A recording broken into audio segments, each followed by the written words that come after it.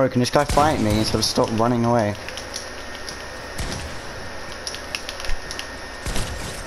Oh my god, you just got pooed on.